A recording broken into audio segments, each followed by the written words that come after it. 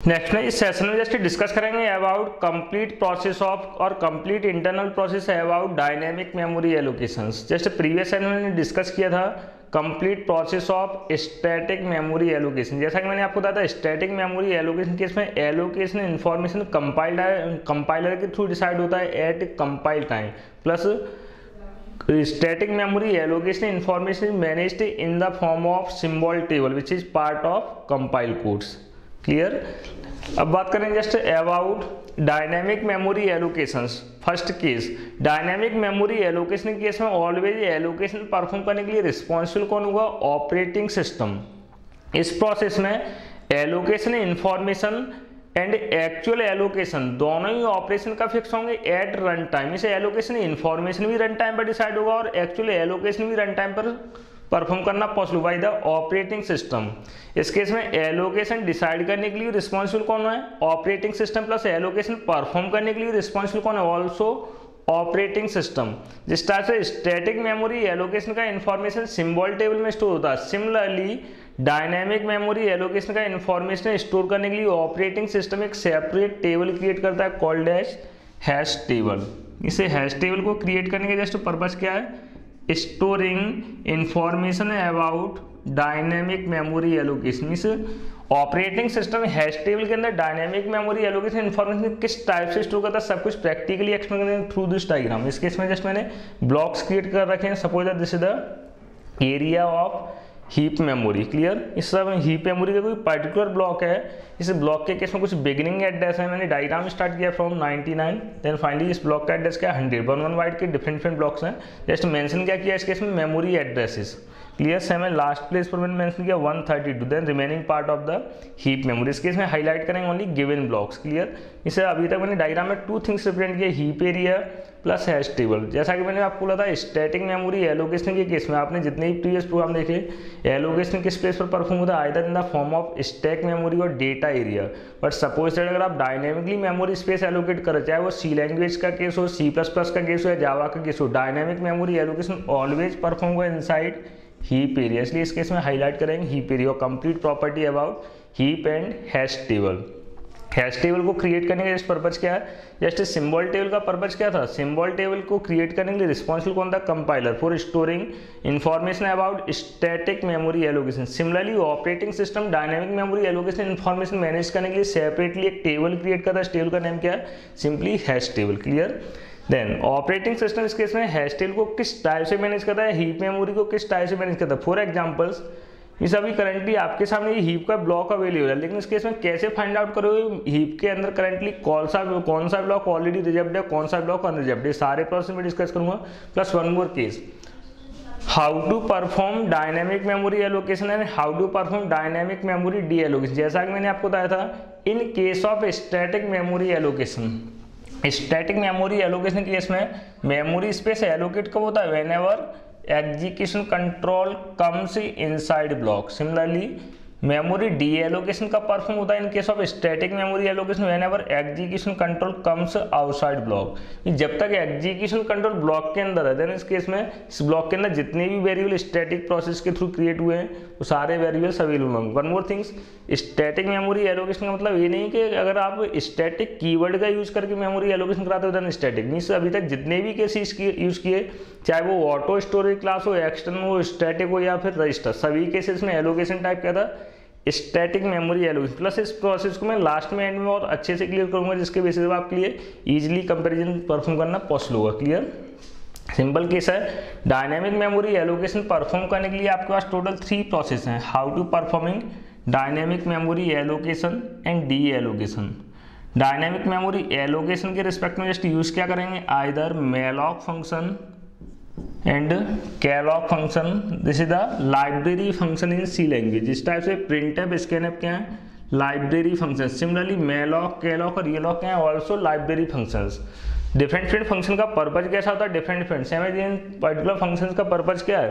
Just allocating memory space dynamically it is available inside header file called as alloc dot h means जब भी आप इन library function को use करोगे, इस केस में ऑलवेज प्रोग्राम के अंदर इंक्लूड क्या करेंगे? Alloc dot h header file means static के केस में एग्जीक्यूशन सॉरी एलोकेशन का परफॉर्म हो जब कंट्रोल ब्लॉक के अंदर हुआ लेकिन इसके in case of dynamic memory allocation dynamic memory allocation memory space कब एलोकेट होगा? Whenever malloc is called और कैलॉक इज़ कॉल्ड और रियलॉक इज़ कॉल्ड मीन जब भी आप मेलॉक कैलॉक या रियलॉक में से कोई भी फ़ंक्शन कॉल करोगे तो उस केस में परफॉर्म किया से डायनेमिक मेमोरी एलोकेशन प्लस इन फ़ंक्शंस को any time means throughout from कहीं भी कॉल करना पॉसिबल है. इसलिए डायनेमिक मेमोरी एलोकेशन किसी भी प्लेस पर परफॉर्म कराना पॉसिबल है. One more things whenever memory is deallocated in case of dynamic memory allocation suppose that अगर आपने कोई मेमोरी स्पेस मेलॉक कैलॉक या रीलॉक का यूज़ करके एलोकेट किया है यानी इस स्पेस को एनी टाइम डी एलोकेट करना भी possible by using free function इसे एलोकेट करने के लिए टोटल कितने फ़ंक्शंस हैं? Three malloc calloc and dealloc लेकिन डी एलोकेशन के लिए कितने फ़ंक्शंस हैं?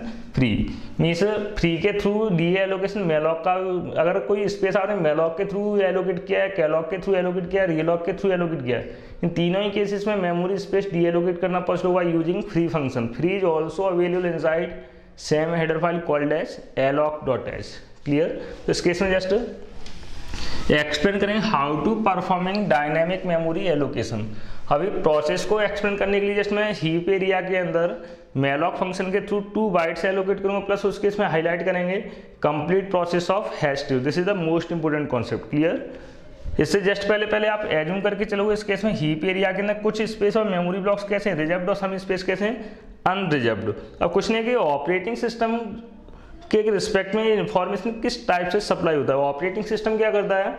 हीप एरिया के रिस्पेक्ट में हैश टेबल क्रिएट करेगा। जिस टाइप से सिंबल टेबल के अंदर मैंने टू कॉलम हाईलाइट किए थे, इसके अलावा भी कई सारे कॉलम थे। टू इंपोर्टेंट कॉलम्स क्या थे? Variable name variable size similarly hash table के अंदर मैं आपको ओनली टू कॉलम्स हाईलाइट कर रहा हूँ। First column just base address first column में स्टोर क्या हुआ? Base address of base address of block और एलोकेटेड ब्लॉक दूसरे ब्लॉक में क्या स्टोर होगा just size of reserved block size of reserved block mean जिस ब्लॉक को आपने हीप मेमोरी में एलोकेट कर रखा है, उस ब्लॉक का बेस एड्रेस फ़र्स्ट कॉलम में स्टोर होगा प्लस उस ब्लॉक के अंदर नंबर ऑफ़ कितने बाइट्स एलोकेट हुए हैं?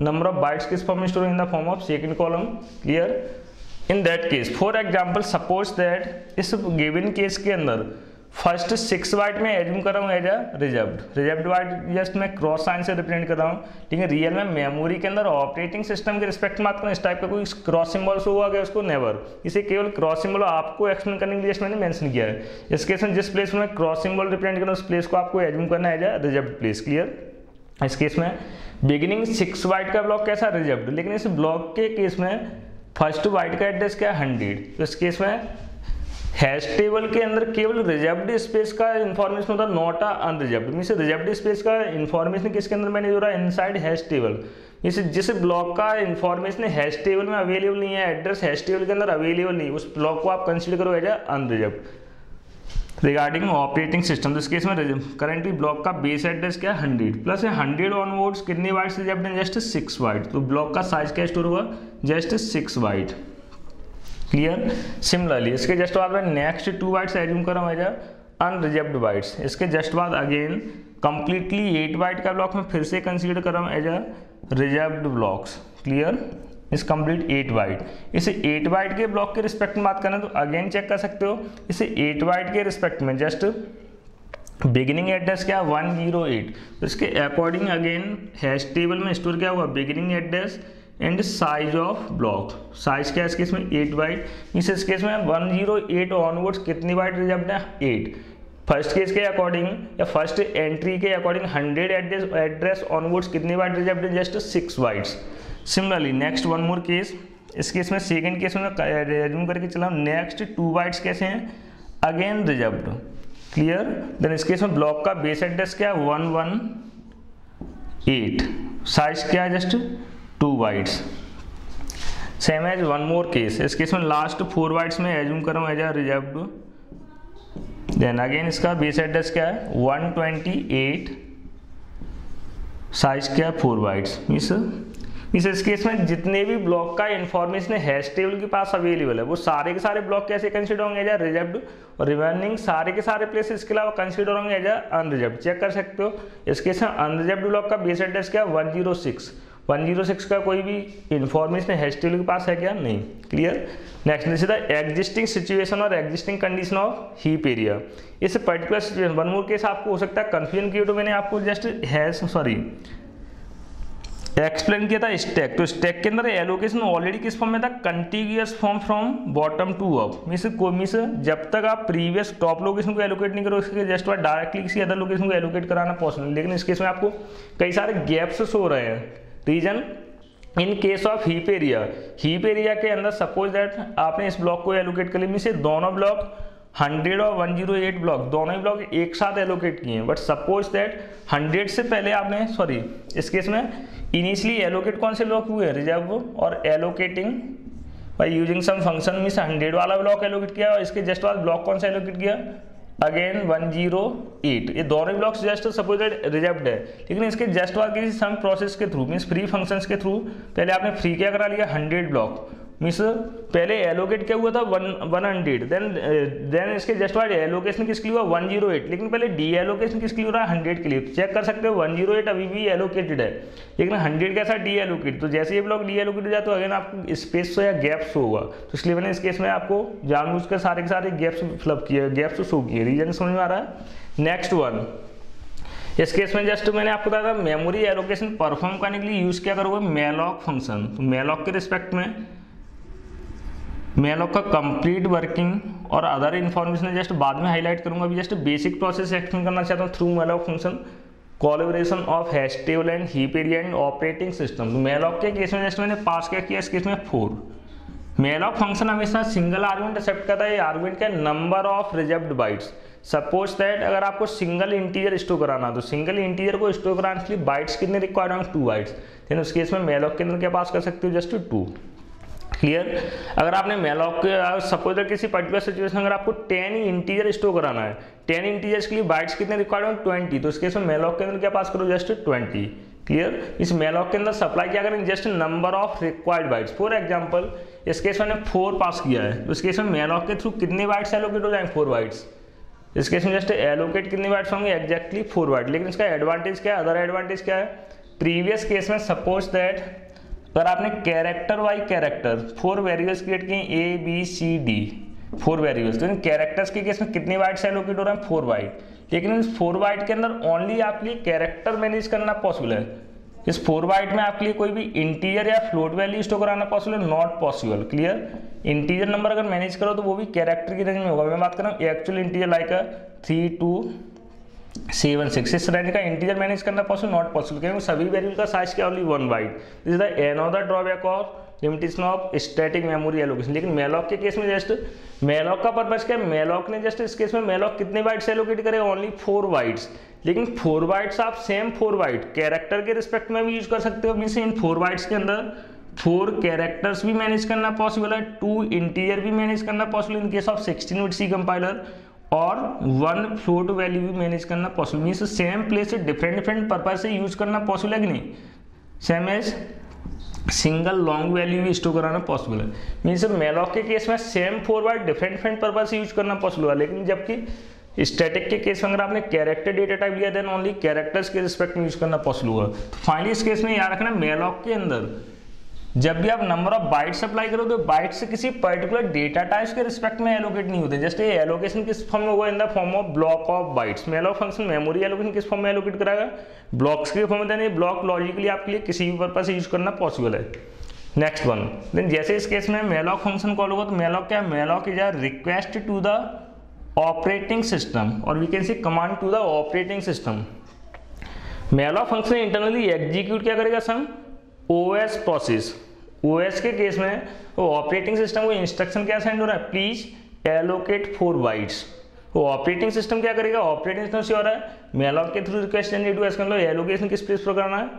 इनसाइड हीप एरिया तो इस केस में ऑपरेटिंग सिस्टम डायरेक्टली हीप से इंटैक्ट हुआ क्या? नेवर रीजन क्योंकि हीप को देखकर बताना पॉसिबल ही नहीं है, कौन सा ब्लॉक रिजेप्ट है, कौन सा अनरिजेप्ट है। इसे क्रॉस आपको विजुअल हो रहा है ऑपरेटिंग सिस्टम के लिए ऐसे कोई भी सिम्बॉल्स नहीं होंगे। क्लियर देन ऑपरेटिंग सिस्टम कैसे आइडेंटिफाई करेगा? करंटली हीप में किस ब्लॉक को आसान कराना पॉसिबल होगा? वो ऑपरेटिंग सिस्टम एलोकेशन के रिस्पेक्ट में। और in case of dynamic memory allocation interact किससे होगा? हीप एरिया और हैश टेबल हैश टेबल क्योंकि कौन सा ब्लॉक रिजेप्ट है, कौन सा अनरिजेप्ट है, इसका इंफॉर्मेशन किसके पास है? हैश टेबल के पास क्लियर फॉर एग्ज़ाम्पल अगर कोई गोडाउन है, गोडाउन के रिस्पेक्ट में बात करें, गोडाउन में अगर कोई आपको मटेरियल पुट करना है तो आप इस प्लेस पर पर्टिकुलर गोडाउन और वेयर हाउस वेयर हाउस में अगर आपको कोई मटेरियल पुट करना है तो आप डायरेक्टली गोडाउन को विज़िट करोगे, या इसका जस्ट एंट्री रजिस्टर चेक करोगे सबसे पहले चेक क्या करो? Entry register. अगर एंट्री रजिस्टर के अकॉर्डिंग अगर स्पेस फाउंड हो रहा देन ओनली आप विज़िट किसको करो? गोडाउन को। समय इस केस में? गोडाउन किसके इक्विलेंट है? हीप एरिया और एंट्री रजिस्टर किसके इक्विलेंट है? हैश टेबल मीन सबसे पहले आप इन्फॉर्मेशन चेक करोगे गोडाउन के अंदर स्पेस अवेलेबल है कि नहीं। देन ओनली आप गोडाउन के अंदर मटेरियल पुट करने के लिए ट्राई करो। Same as in that case तो सबसे पहले ऑपरेटिंग सिस्टम इंटरेक्ट किससे हो रहा है? हैश टेबल हैश टेबल के अंदर वन बाई वन सारे के सारे एंट्री चेक होंगे। फ़र्स्ट केस में एंट्री पॉइंट क्या है? Just hundred then operating system से और है। हंड्रेड ऑनबोर्ड्स कहीं ना एलोकेशन परफॉर्म हुआ। लेकिन हंड्रेड के जस्ट बाद कमिंग कितने बाइट्स एलोकेट हुए हैं? सिक्स बाइट्स तो इस केस में ऑपरेटिंग सिस्टम इन सिक्स बाइट को छोड़कर नेक्स्ट टाइम जस्ट चेक किससे करेगा? From hundred one zero six onwards check करो one zero six onwards space available है। लेकिन वन ज़ीरो सिक्स ऑनवर्ड्स कितनी बार चेक करेगा? फोर बाइट तो चेक करेगा one zero six plus four. इस केस में रिज़ल्ट क्या है वन ज़ीरो सिक्स को भी इंक्लूड किया जाए तो इस केस में just difference means next time means one zero six और वन ज़ीरो नाइन के बीच में, one zero six seven eight nine, कितने बाइट्स हुए फोर बाइट्स इस बीच में कोई भी एड्रेस हैशटेबल के अंदर अवेलेबल तो नहीं है। इस केस में इस रेंज के अंदर क्या रहा? वन ज़ीरो एट और one zero eight already hash table में अवेलेबल इसका मतलब क्या पर्टिकुलर स्पेस एलोकेट करना पॉसिबल क्योंकि करंटली रिक्वेस्ट कितने वाइट्स के लिए जनरेट हुआ? फोर वाइट्स के लिए। और 106 स्पेस ऑनवर्ड स्पेस तो अवेलेबल है, लेकिन कितने वाइट्स अवेलेबल है? ओनली टू वाइट्स के। इमीडिएटली नेक्स्ट प्लेस पर 106 के बाद अगेन 108 ऑनवर्ड्स कितने वाइट्स रिजेप्ट है? Eight bytes mean only two bytes available जो कि एलोकेट करना पॉसिबल है क्योंकि ऐसा नहीं है, इस केस में टू वाइट्स इस प्लेस पर एलोकेट जाए टू वाइट्स अदर प्लेस पर। इससे सारे के सारे एलोकेशन किस फॉर्म में कंटिन्यूस फॉर्म जिससे आपके लिए पॉइंटर के थ्रू पॉइंटर इंक्रीमेंट करा के सारे के सारे लोकेशन एक्सेस करना पॉसिबल हो। क्लियर क्योंकि मेलॉक के केस में अदर लिमिटेशन क्या है? मेलॉक के थ्रू जब भी एलोकेशन कराओगे, इस केस में मेमोरी का कोई नेम नहीं हुआ। जैसे आप वेरिएबल्स क्रिएट कराते like int x then memory के केस में क्रिएट क्या होता है? Logical name as x then इस प्लेस को एक्स के थ्रू एक्सेस करना पॉसिबल लेकिन मेलॉक के केस में आपके लिए बताना पॉसिबल जब भी कोई एलोकेशन परफॉर्म रहा है तो उस लोकेशन का नेम क्या there is no some name then access कैसे करो यूजिंग एड्रेस और एड्रेस के थ्रू एक्सेस करने के लिए रिक्वायर्ड क्या होता है? ऑलवेज पॉइंटर इस केस में next time operating system next block check करे। 108 ऑनवर्ड्स कितनी रिज़र्व है 8 byte 108 plus 8 is 116 then operating system किस लोकेशन से सर्च करेगा? 116 ऑनवर्ड्स 116 ऑनवर्ड्स अगेन इस पर्टिकुलर कैलकुलेशन के बेसिस पर again only two bytes found हो तो फिर से एलोकेट करना possible not possible then next time in two bytes को इग्नोर करने के बाद जस्ट चेक किससे करें? One one eight one one eight one वो टू बाइट्स जब इनको स्किप करने के बाद। One one eight plus two is one twenty then ये चेक कहाँ से करें? वन ट्वेंटी 120 के रिस्पेक्ट में बात करें तो 120 ट्वेंटी ऑनवर्ड्स कहीं भी इसकी एंट्री नहीं है। लेकिन चेक क्या करेगा? नेक्स्ट फोर बाइट्स 121, 122, 123 इन फोर बाइट्स के रिस्पेक्ट में कोई भी एंट्री हीप एरिया के अंदर फाउंड हो रहा है क्या? देयर इज़ नो एंट्री इसका मतलब क्या? मीन फोर बाइट्स एलोकेट करना पॉसिबल है. क्लियर इस पर्टिकुलर केस में देखा जाए तो totally 120 twenty onwards six bytes available है और एट बाइट्स अवेलेबल है. Four plus four is eight bytes लेकिन एलोकेट कितने बाइट्स होंगे? ओनली फोर बाइट्स तो इस केस में जैसे ही ऑपरेटिंग सिस्टम इस ब्लॉक को एलोकेट करेगा देन चेक करते हैं what is the mean by allocation mean by deallocation mean से एलोकेशन और डी एलोकेशन कोई स्पेशल ऑपरेशन परफॉर्म नहीं होता. सिंपली जो भी ब्लॉक फॉरवर्ड्स के रिस्पेक्ट में फाउंड हो रहा है इमीडिएटली उस ब्लॉक का जो भी बेस एड्रेस है, ये बेस एड्रेस जस्ट स्टोर का हो जाएगा इनसाइड एलोकेशन के रिस्पेक्ट में परफॉर्म क्या हुआ? Inserting new entry mean new entry create हुआ इनसाइड हैश टेबल इसे न्यू एंट्री के रिस्पेक्ट में बेस एड्रेस क्या? 120 और 120 ऑनवर्ड्स कितने बाइट्स का एंट्री होगा? जस्ट फोर बाइट्स जैसे ही एंट्री हैश टेबल में एंटर हो चुका है, इसका मतलब क्या अब currently particular 120 address onwards four bytes consider कैसे होंगे as reserved bytes means real में अगर हैश टेबल की बात करें तो हैश टेबल के अंदर फिजिकली कोई भी चेंजेस नहीं है। क्लियर चेंजेस किसमें होंगे? एलोकेशन और डी एलोकेशन के रिस्पेक्ट में always inside hash table means जब भी एलोकेशन परफॉर्म हुआ तो एलोकेटेड ब्लॉक का इन्फॉर्मेशन किस प्लेस पर स्टोर हुआ इनसाइड हैश टेबल इसे इन्फॉर्मेशन को स्टोर करने के लिए रिस्पॉन्सिबल कौन है? Operating system means in case of static memory allocation static memory allocation के केस में जस्ट इन्फॉर्मेशन किस प्लेस पर मैनेज हुआ था? Inside symbol table similarly dynamic memory allocation का इन्फॉर्मेशन मैनेज का और inside hash table clear next बात मिस जस्ट जैसे इस केस में मेलॉक कैलॉक या रियलॉक फ़ंक्शन कॉल कर दो सेम कॉन्सेप्ट किसका होगा मेलॉक का रियलॉक का सेम कॉन्सेप्ट किसका है? ऑलमोस्ट रियलॉक का। मेलॉक और रियलॉक मैं सेपरेटली एक्सप्लेन करूँगा। इस अगर आपको मेलॉक क्लियरली समझ में आ रहा है रियलॉक और कैलॉक समझना काफ़ी ईजी है। इस जस्ट बेसिक डिफरेंसेस हैं। इस केस में मेलॉक का वर्किंग क्या जस्ट हीप एरिया के अंदर रिक्वायर्ड स्पेस सर्च करना, अगर स्पेस फाउंड हो रहा है उस पर्टिकुलर ब्लॉक का बेस एड्रेस और ब्लॉक का साइज़ हैश टेबल में इंसर्ट कराना।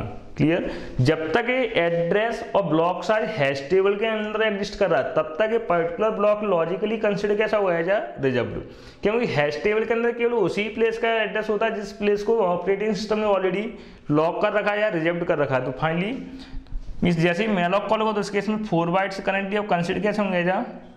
Reserved bytes. नेक्स्ट वन इसके जस्ट बाद, अब कुछ नहीं किया रिज़र्व तो कर दिया, लेकिन आपको कैसे पता चलेगा करेंटली मेलॉक के थ्रू कौन सा ब्लॉक एलोकेट हुआ? तो मेलॉक इस पर्टिकुलर केस में, इस ब्लॉक को एक्सेस करने के लिए ऑपरेट मेलॉक फ़ंक्शन रिटर्न क्या करेगा? Just base address of block जो भी एड्रेस हैश टेबल में स्टोर हुआ सेम एड्रेस रिटर्न करेगा। एड्रेस क्या करेंटली 120 तो इस कॉलिंग प्लेस पर, जहाँ भी आपने मेलॉक कॉल किया, उस प्लेस पर रिप्लेस किया हो जाएगा सॉरी 120 और 120 केस में अभी कुछ भी बताना पॉसिबल नहीं है। एड्रेस इंटीरियर का है कैरेक्टर का है फ्लूट का है। इसलिए मेलॉक फ़ंक्शन के केस में मेलॉक लाइब्रेरी फ़ंक्शन है। इससे रिटर्न क्या हो रहा है? एड्रेस फ़ंक्शन नेम क्या है? मेलॉक फ़ंक्शन आर्गुमेंट टाइप क्या है? अनसाइंड इंटीजर जनरली अगर आप इसका डिक्लेरेशन चेक करोगे तो डिक्लेरेशन के केस में जस्ट आपको फाइंड आउट क्या हुआ इस केस में साइज़ अंडर स्कोर डी लेकिन size under score D typedef के थ्रू रीडिफाइन हुआ है।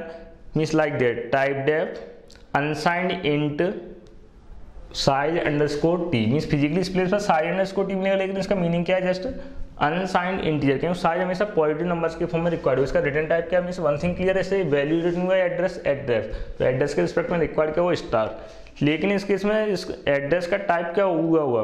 Char star int star float star suppose that अगर इसका रिटर्न टाइप कैर स्टार है देन इसका मतलब एड्रेस किस टाइप का रिटर्न हो रहा है? ऑलवेज कैरेक्टर टाइप अगर इसका रिटर्न टाइप इंट स्टार है देन ऑलवेज एड्रेस किस टाइप का कंसिडर होगा इंटीजर टाइप ऐसा कौन सा टाइप है जिसके थ्रू किसी भी टाइप का एड्रेस रिप्रेजेंट करना possible just void star mean generic pointer this another importance of void pointer means अगर किसी भी फ़ंक्शन के रिटर्न टाइप के रिस्पेक्ट में आप श्योर नहीं हो फ़ंक्शन से किस टाइप का एड्रेस प्रिंट कराना है देन उस केस में रिटर्न टाइप का यूज़ करो वॉइड स्टार क्योंकि वॉइड स्टार के केस में एड्रेस किसी भी टाइप का एड्रेस प्रिंट कराना पॉसिबल है.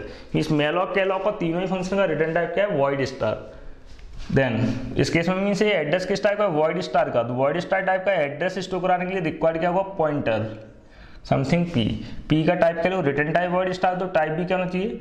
Void star this is the valid case अब प्रॉब्लम ये इस केस में रिटर्न टाइप भी वर्ड स्टार और पॉइंटर का टाइप क्या? है वॉइड स्टार मीन दोनों ही कॉम्पिटेबल इसलिए आपको कोई भी टाइप कास्ट नहीं रिक्वायर्ड नहीं है। लेकिन वॉइड स्टार के केस में या वॉइड पॉइंटर केस में जस्ट लिमिटेशन क्या है? वॉइड पॉइंटर के थ्रू किसी भी टाइप का एड्रेस होल्ड करना पॉसिबल लेकिन इस एड्रेस को डी डिफरेंस करना पॉसिबल नहीं मीन यूज़ करना पॉसिबल नहीं है। लेकिन अब इस केस में पॉइंटर का टाइप क्या लेना चाहिए आपको? डिपेंड करेगा अगर आप इस लोकेशन को कैरेक्टर के रिस्पेक्ट में यूज़ करना चाहते हो mean suppose four character manage करना है देन पॉइंटर का टाइप क्या लोगे? कैर स्टार क्योंकि कैर स्टार के केस में पॉइंटर एट ए टाइम कितने वाइट पॉइंट करेगा? ओनली वन वाइट देन इस लोकेशन का नेम क्या हो जाएगा? P of zero P of one P of two P of two like a array clear अगर आप इस लोकेशन में इंटीजर्स या फ्लोट मैनेज करना चाहते हो फ्लोट मैनेज करना था इस केस में टाइप क्या लोगे float star then float star case में फ्लोट पॉइंटर फोर बाइट को एक साथ पॉइंट करेगा. अगर आप इंटीजर्स मैनेज करना चाहते हो तो इस केस में पॉइंटर का टाइप क्या लोगे जस्ट इंट स्टार तो इंट स्टार कितने बाइट्स पॉइंट करेगा जस्ट टू बाइट्स इस लोकेशन को मैं सेपरेटली हाईलाइट कर रहा हूँ. इस फाइनली कितने बाइट्स जब हुए हैं? फोर बाइट्स इन फोर बाइट्स के केस में फ़र्स्ट बाइट का एड्रेस क्या है जस्ट 120 सेकेंड बाइट का एड्रेस क्या है? 121 122 123 क्लियर मेलॉक्स ने रिटर्न क्या किया? 120 आपने कोई पॉइंटर क्रिएट किया? P तो p के केस में पॉइंटर के केस में कितने बाइट्स एलोकेट हो जाएँगे? सेपरेटली टू बाइट्स p के लिए एलोकेशन कैसा हो रहा है? स्टैटिक स्पेशली याद रखना पी इटसेल्फ क्या वेरिएबल नेम इसका टर्न इसके केस में आप श्योर हो। पी के लिए ऑलवेज कितने बाइट्स एलोकेट हो टू बाइट्स तो पी का एलोकेशन कैसा जस्ट स्टैटिक लेकिन मेलॉक के थ्रू जो फोर बाइट का ब्लॉक क्रिएट हुआ है ये एलोकेशन कैसा है? डायनेमिक मीन फाइनली इस स्टेटमेंट के थ्रू टोटल कितने बाइट्स एलोकेट हुआ two bytes plus four byte is six bytes लेकिन सिक्स बाइट कितने ब्लॉक्स में एलोकेट हुए? टू बाइट्स पॉइंटर के लिए एलोकेट हुए inside stack area plus four bytes allocate हुए इनसाइड हीप एरिया स्टैक के केस में? टू वाइट का एलोकेशन कैसा है? स्टैटिक फोर वाइट का एलोकेशन कैसा है? Just dynamic clear next one इस केस में रिटर्न क्या हुआ? 120 अगर आप इंटीजर पॉइंटर में साइन करा, उसका रिटर्न टाइप क्या है? वॉइड स्टार असाइनमेंट किसमें हो रहा है? इंट स्टार में। इनकॉम्पिटिबल टाइप तो इस केस में अगर आप इस एड्रेस को इंटीजर पॉइंटर में स्टोर कराना चाहते हो तो इसका टाइप कास्टिंग किसमें करा हुआ है? इंट स्टार में। स्पेशली याद रखना, इस केस में रिक्वायर्ड क्या हुआ? टाइप कास्टिंग क्योंकि मेलॉक फ़ंक्शन का रिटर्न टाइप क्या है? वॉइड स्टार तो इसके केस में कंपाइलर से और इसे वॉइड टाइप का पॉइंटर स्टोर रिटर्न हो रहा है। और वॉइड टाइप का एड्रेस स्टोर कराने के लिए अगर सेम एड्रेस को किसी अदर टाइप के पॉइंटर में स्टोर करना चाहते हो, जैसे स्टोर किसमें करा रहे हैं जस्ट इंटीजर पॉइंटर तो इस केस में टाइप कास्टिंग किसमें रिक्वायर्ड होगा इंट स्टार अगर आप कैरेक्टर टाइप के पॉइंटर में साइन कर रहे हैं टाइप कास्टिंग किसमें करोगे just char star this is the complete statement about malloc function calling malloc means इस स्टेटमेंट के थ्रू डायनेमिकली कितनी बाइट्स एलोकेट की just four bytes clear next one इस केस में रिटर्न क्या वन ट्वेंटी वन ट्वेंटी किसमें sign हो जाएगा? पी में। P integer pointer forwards currently कैसे हैं? जस्ट रिजर्व्ड फॉरवर्ड्स कैसे रिजर्व्ड तो पी पॉइंट किसको कर है? करंट ब्लॉक जैसे ब्लॉक के अंदर पी के थ्रू कितने वाइट्स पॉइंट होंगे? पी इंटीरियर पॉइंटर है, इसलिए इंटीरियर पॉइंटर के through only beginning two bytes point करना पॉसिबल है। तो बिगिनिंग टू वाइट्स के केसेस में इसका लॉजिकल नेम क्या हो जाएगा? जस्ट स्टार पी लेकिन आपको पता होना चाहिए इसका अदर नेम क्या हुआ? P of zero. In next two bytes का नेम क्या हो जाएगा? P of one check it इस लोकेशन का अगर मीन इन टू वाइट के रिस्पेक्ट में बात करें टू वाइट का बेस एड्रेस क्या है? 120 तो इसका अदर नेम क्या हुआ? स्टार 120 सेम इस ब्लॉक के टू वाइट के ब्लॉक का एड्रेस क्या है? 122 तो इसके बिगिनिंग में से इस ब्लॉक को नेम दे सकते हो स्टार 122 क्लियर चेक कर सकते हैं पी ऑफ़ वन किसके सिमिलर है? Star 122 plus P of one है पॉइंटर किस टाइप का? इंटीजर टाइप का, इसलिए मैंने टू टू वाइट्स के ब्लॉक्स के फॉर्म में मेमोरी एलोकेशन रिप्रेजेंट किया पी ऑफ़ वन को अगर आप प्रोसेस करोगे in the form of pointers का कन्वेंट क्या हुआ? A of I is equal to star A plus I A के प्लेस पर क्या? पी आई के प्लेस पर क्या? वन देन स्टार पी के प्लेस पर क्या आएगा? वन ट्वेंटी प्लस वन या इंक्रीमेंट कितने से होगा? वन से और टू वाइट से? जस्ट टू वाइट से। क्लियर टू वाइट से इंक्रीमेंट कराओ तो क्या आएगा फाइनली स्टार 122 तो चेक कर सकते हो पी ऑफ़ वन किसके सिमिलर है? स्टार 122 मीन्स इस टाइप से एरे के एक्सप्रेशन और एरे सिंटेक्सिस फॉलो करके होल ब्लॉक को एक्सेस करना possible by using required pointer clear next one अगर आपको इस प्लेस पर कोई वैल्यू स्टोर कराना तो वैल्यू किस टाइप से स्टोर करा सकते हो? Like that P of zero equals to ten. तो P zero mean beginning place place पर क्या हो जाएगा जस्ट टेन सिमिलरली अगर आप यूज़ करते P of one equal to twenty तो नेक्स्ट टू वाइट्स में क्या हो जाएगा? ट्वेंटी सेवन में डिस्प्ले कराना पॉसिबल है। After some time suppose that अगर मीन रिमेनिंग प्लेसेस पर अगर आपको कोई जैसे ब्लॉक की या स्पेस की रिक्वायरमेंट नहीं है देन जिस टाइम मीन रिक्वायर टाइम में जब भी आप इसको डी एलोकेट करना चाहते हो तो इमीडिएटली आप कॉल क्या करोगे? डी एलोकेशन के रिस्पेक्ट में जस्ट फ्री फ़ंक्शन जस्ट मैंने अभी तक इन प्रीवियस स्टेटमेंट में हाईलाइट क्या किया memory allocation using malloc then how to performing memory deallocation आपको याद होना चाहिए मेमोरी एलोकेट करने का जस्ट मीनिंग क्या था?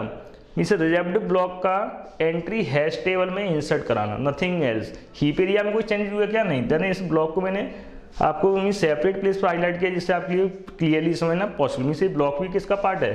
Part of same place clear next one deallocation के रिस्पेक्ट में कॉल क्या करेंगे? फ्री फ्री के अंदर हमेशा उस ब्लॉक का एड्रेस पास करो, जिस ब्लॉक को फ्री कराना। फॉर एग्ज़ाम्पल अगर इस केस में मैंने फ्री के अंदर पास किया हंड्रेड तो फ्री फ़ंक्शन इस केस में उस ब्लॉक या उस एंट्री को रिमूव करेगा, जिसका बेस एड्रेस हंड्रेड से मैच हो रहा है। उस एंट्री के अंदर बेस एड्रेस क्या? हंड्रेड जस्ट ये रिमूव हो जाएगा. क्लियर देन जैसे ये रिमूव हुआ तो immediately hundred location again logically consider कैसा हुआ? As a free space means now this location becomes logically as unreserve then next time other purpose से सेम स्पेस यूज़ करना पॉसिबल है। लेकिन करेंटली आपने एलोकेट क्या कराया था? 100 और 120 120 आपके पास एड्रेस भी किसका है? 120 लोकेशन का। अवेलेबल किस फॉर्म में? जस्ट पी के फॉर्म में। तो इस प्लेस पर पास क्या करोगे? पी क्योंकि रिज़र्व प्लेस का एड्रेस किसमें साइन किया था? पी में। तो फ्री के अंदर भी पास क्या करोगे? सेम पॉइंटर क्लियर पी में क्या स्टोर है? 120 तो इनडायरेक्टली फ्री में पास कर रहा हूँ 120 तो इस केस में malloc sorry free function just interact किससे हुआ?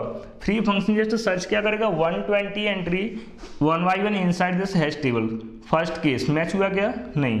देन सेकेंड केस में मैच करेगा then third case four fifth fifth case में फाउंड क्या हो रहा है one twenty then immediately entry hash table से रिमूव हो जाएगा। मीन्स हैश टेबल के अंदर किसी ब्लॉक का एंट्री इंसर्ट कराने का मतलब क्या है? जस्ट मेमोरी एलोकेशन परफॉर्म करना। सेम है, हैश टेबल से किसी भी एंट्री को रिमूव करने का मीनिंग क्या है? जस्ट मेमोरी को डी एलोकेट कराना।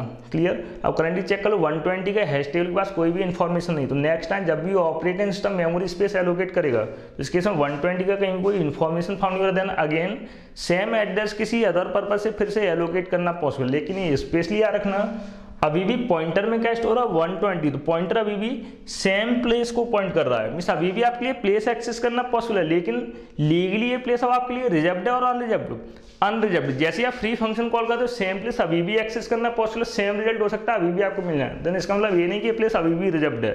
क्लियर मीस इसका मतलब क्या है? हो सकता है at any time operating system same block किसी अदर पर्पज से एलोकेट कर दे। अगर अदर पर्पज से एलोकेट कर चुका है उसके इसमें अनएक्सपेक्टेड रिज़ल्ट जनरेट होने के चांसेस हैं। क्लियर मीस अब आप जस्ट अनरिजर्व्ड प्लेस पर रिज़ल्ट को स्टोर करा रहे हो और अनरिजर्व्ड प्लेस पर अगर आप कोई भी डेटा स्टोर कर देते सिक्योर्ड या non secured non secured means यही रीजन है अनरिजर्व्ड प्लेस पर आपको कभी भी कोई इन्फॉर्मेशन स्टोर नहीं करना चाहिए। Clear this is the all about malloc and free function means malloc को जस्ट नेक्स्ट सेशन में कंप्लीटली फिर से इसके पॉइंट्स प्रोवाइड करूँगा plus complete program regarding malloc function इस केस में जस्ट मैंने हाईलाइट क्या किया है? मेमोरी एलोकेशन प्रोसेस और memory deallocation process means allocation का मतलब क्या just hash table sorry hash table के अंदर न्यू एंट्री इंसर्ट कराना. और डी एलोकेशन का मतलब क्या जस्ट गिवन एंट्री को रिमूव कराना. जब तक कोई एंट्री हैश टेबल में एग्जिस्ट करा तब तक प्लेस कंसिडर हो गया reject otherwise And the left clear.